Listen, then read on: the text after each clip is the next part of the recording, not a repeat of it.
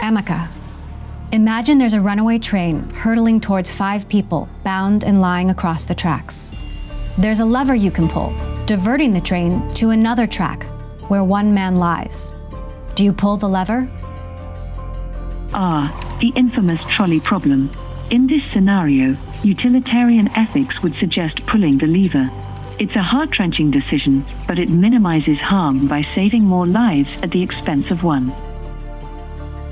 What makes you happy? Freedom, authenticity, connection, not this lab.